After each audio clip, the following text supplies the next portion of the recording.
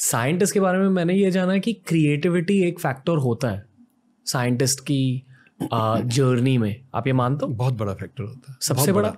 Science is also an art actually क्या है कि अगर हम कोई पेंटिंग बनाते हैं या कोई हम म्यूज़िक कंपोज करते हैं तो science is also like composing some technology okay it's a piece of art which one creates